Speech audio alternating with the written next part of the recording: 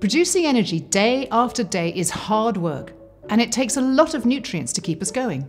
One of the key vitamins that's essential in this process is vitamin B12. This small but mighty nutrient plays a vital role in helping us feel energized and alert.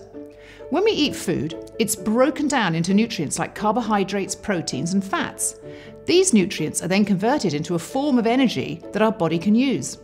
Vitamin B12 plays a crucial role in this process by helping to convert food into energy at the cellular level. It does this by working with enzymes in the body to break down these nutrients and produce energy in our cells. Vitamin B12 is also essential for the production of red blood cells, which carry oxygen around the body. Oxygen is critical for energy production because it helps to fuel our cells and keep us alert and focused.